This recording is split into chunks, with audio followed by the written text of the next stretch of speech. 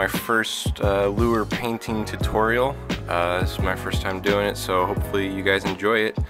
Uh, today we're to do a crankbait. It dives between 6 and 8 foot, and since it's springtime, I figured it would be good to do another uh, like red color. So I think what we're to do is start with the yellow on the belly, go to orange, then go to red, and then I think it would look really cool to do a purple and black oh, like scale pattern on top of it. So, got our coffee, got the lure, we got the paint, let's do this. So I've already painted the lure white to get that nice base coat, that way it's not uh, transparent. So we're gonna go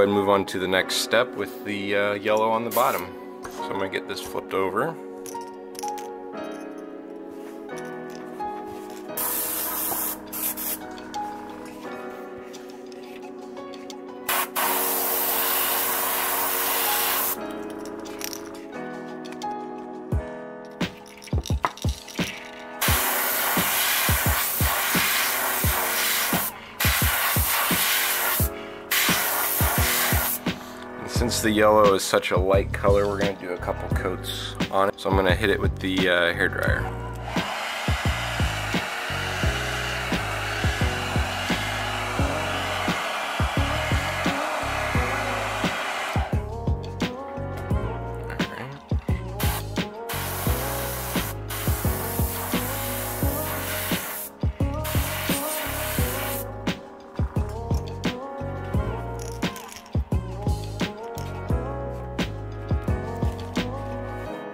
That'll work for me. I'm to clean out the brush and we'll switch over to our orange. Alright, so next we're to do the uh, pearlized orange. We're to do it along the sides and then we're to switch over to red we're to do red right across the bridge of it, the very tip top along the back and then we'll switch over to our purples and blacks. So here goes the orange. And I really love the way these pearlized colors look once the clear coat goes on.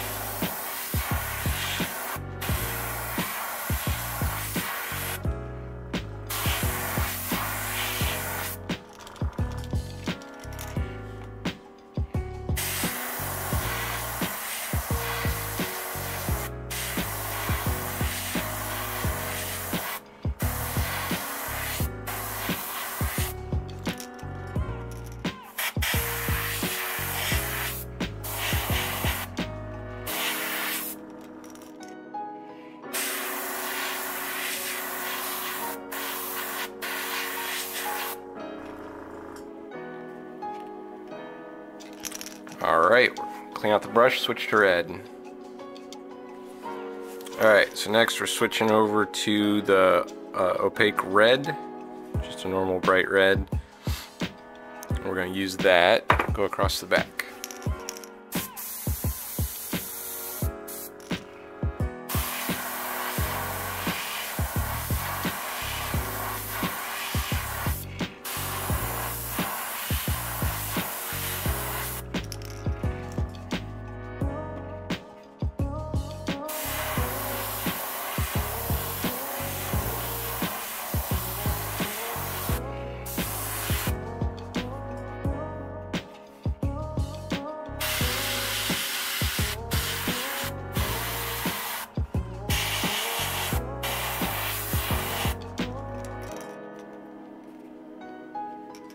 So now I got that nice fade from yellow, orange, all the way up to red.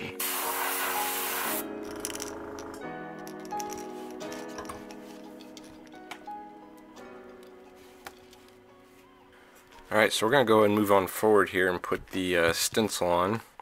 This is just some, uh, oh, ribbon from, I think I got it from Hobby Lobby. It has this really cool texture pattern to it. I use it for a lot of my baits. You can do a lot of really unique uh, patterns. And one thing we're going to do is once we get this on here, we're going to uh, spray white over everything. That way we can get a nice uh, base coat. That way the colors we put on top will be nice and bright instead of mixing with the red. We don't, we're not looking for muddy colors, we want bright colors. And I'm kind of thinking now that we're into it, uh, I'm going to do purple and black for sure, and I might throw a little bit of blue in there just because that would that'd go cool with the purple. Or it could fail, you never know. But we'll find out together.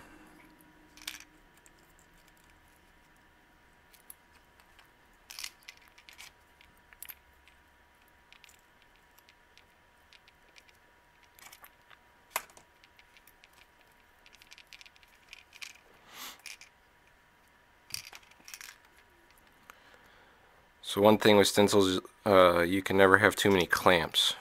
Always, always have clamps.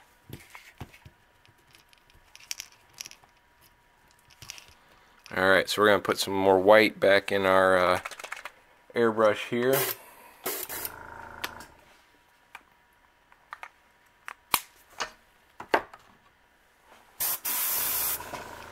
And then I'm gonna go just just about to where that yellow starts. I don't really want this pattern to go too down or too far down on the belly, just because I'm not I'm not gonna have that purple and blue and black going that far down. But we are gonna go and get it really well covered here up at the top and about halfway down.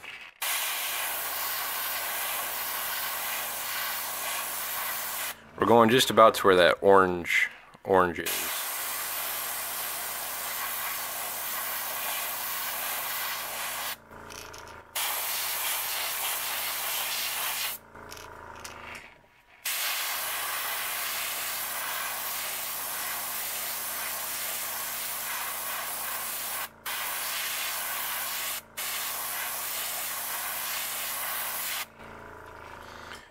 Going to do a couple coats of that too, so I'm going to hit it with the hair dryer.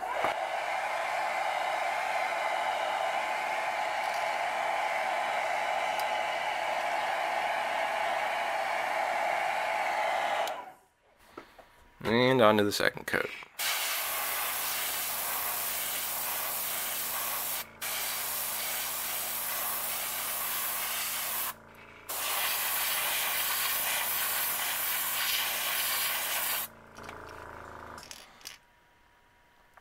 Alright, so there's what our mess of a lure looks like right now.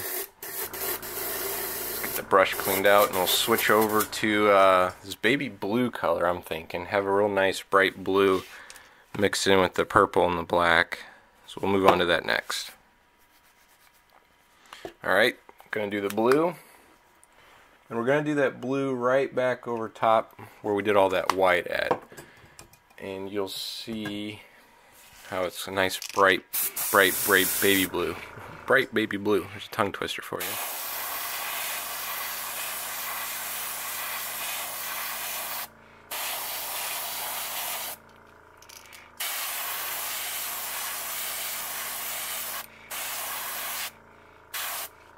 Alright, gonna hit it with the hair dryer, do another coat.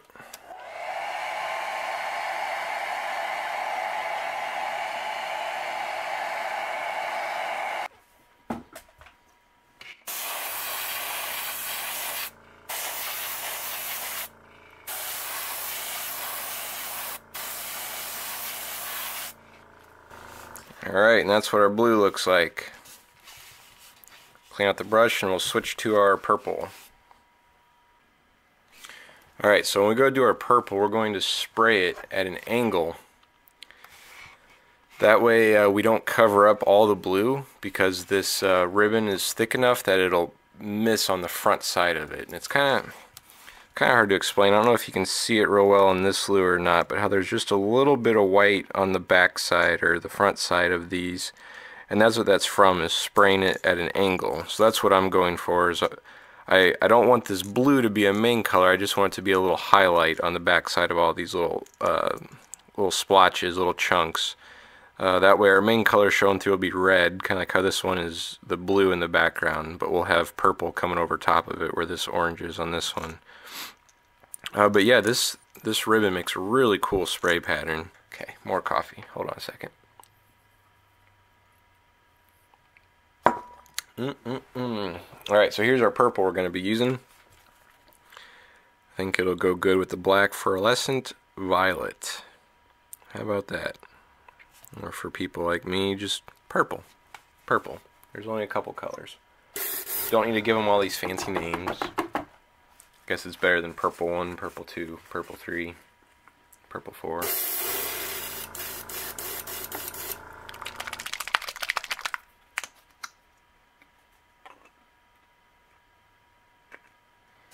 Ooh, got a lot of paint in there.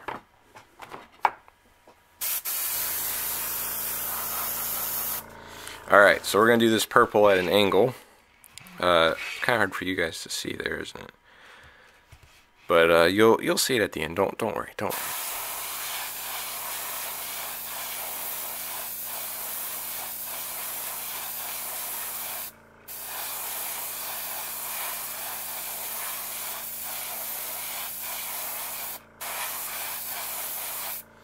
I haven't used purple very much in any of my lures, so we'll see how this turns out. Hopefully I didn't make a mistake here.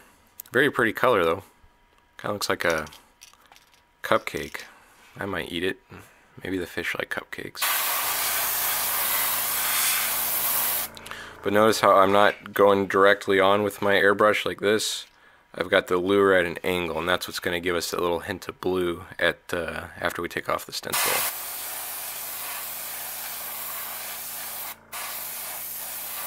It also kind of reminds me of a uh, Easter egg.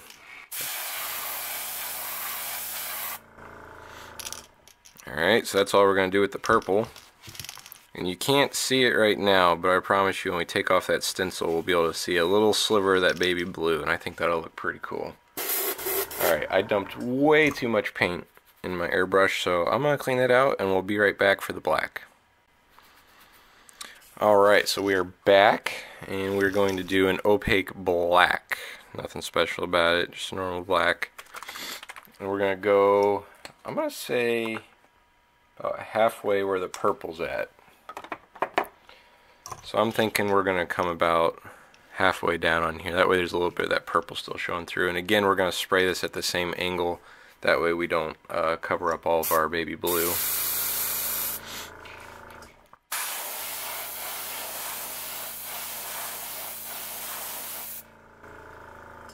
I don't know, what do you think? A little more than that? I think we can go a little more. Okay, switching to the other side.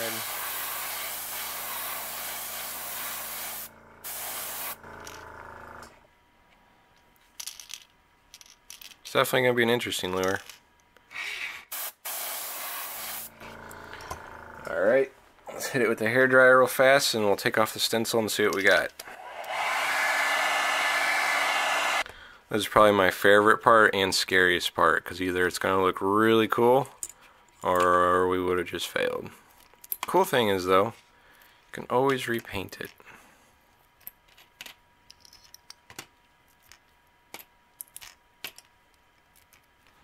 Alright, let's see what she looks like.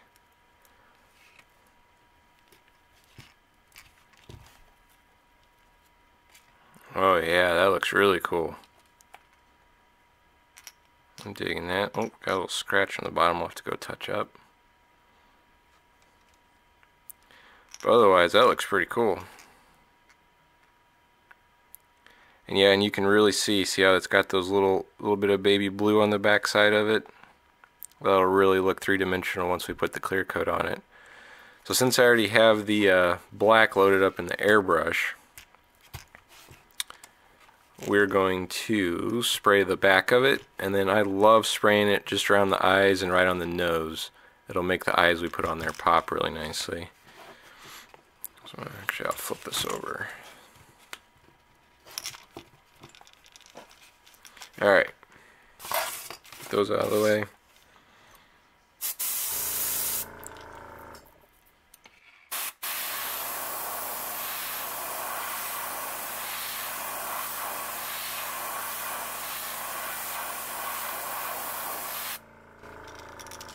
We're going to go just a little bit along this bridge right here. Just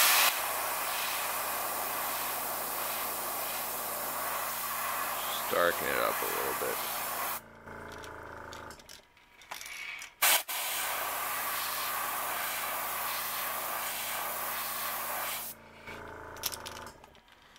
I think that looks pretty good.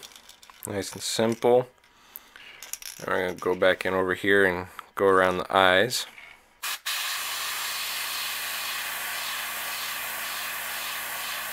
Nothing too crazy.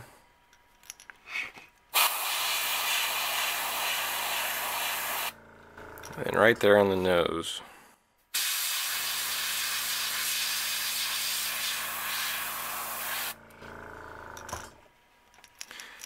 That was just a normal opaque black.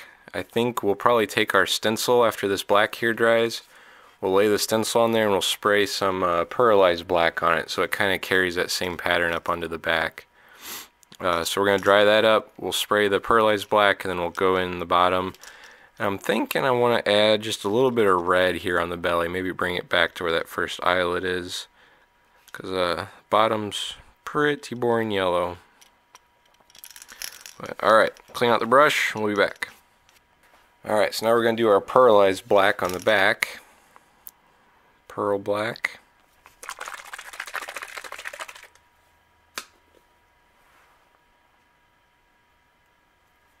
Don't need very much of it. Sip of coffee. Alright, and since we're only doing one color, we're not going to do several colors on the back. I'm just going to hold the stencil on. So we're just going to hold that on there. I'm going to move this down so I can get it nice and flat. And I don't know if you guys will be able to see it on camera, but hopefully later when we get the final shots of it, you'll be able to see it. Just holding that right along the back. I'll go over with my uh, pearlized black.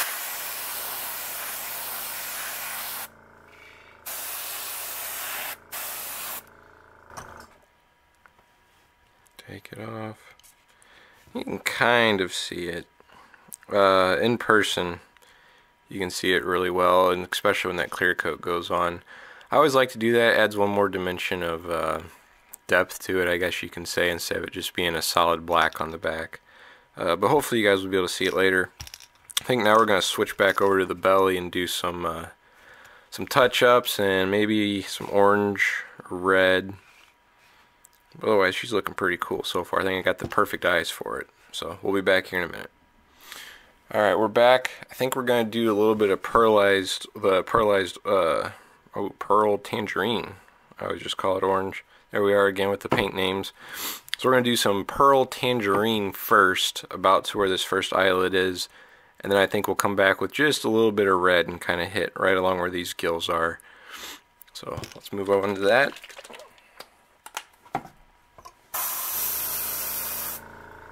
Won't take much.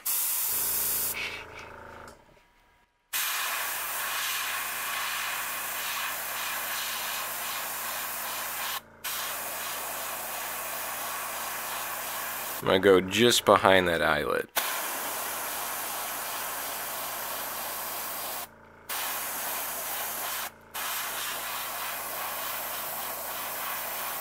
I carry it up onto the belly a little bit.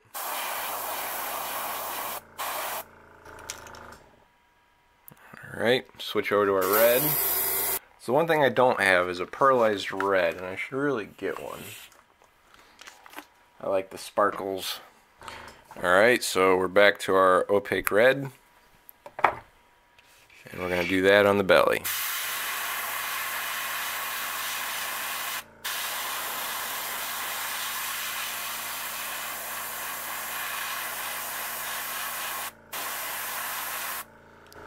Carried up the gill plate a little bit.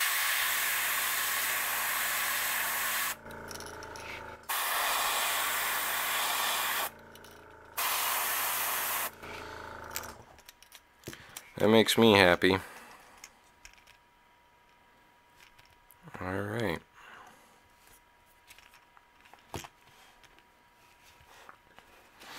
I think it's time to put some eyes in there. What do you guys think? Can't wait to get the clear coat on this one. Alright, clean out my brush and uh, we'll be back with some eyes. Alright, we're back and I've got my uh, selection of eyes here. And I'm torn between the blue, these crazy looking red ones, or the normal looking red ones. I'm trying to decide. I almost like the crazy ones. I think we're going to have to go with crazy ones. And normally I'll put a uh, little dab of super glue on there. However, my super glue is gone. So we're going to have to uh, glue it in place later. I'm trying to remember what size eyes fit in here. Is that one? That's too big. So it is the smaller ones.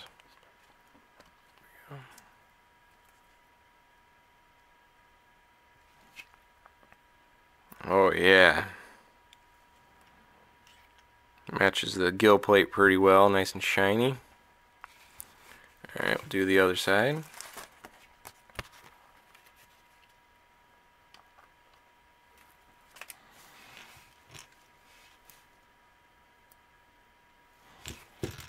I always like to look, you know, in the eyeballs how they have, uh, some of them are thinner at the bottom. I always try to make sure they match both sides. That way the fish is looking the same direction. Little details. But awesome. I think it turned out pretty good. Not bad for no plan to start with, I guess. Looks pretty good. I think we'll get some clear coat on this and then uh, we'll show you guys the final product.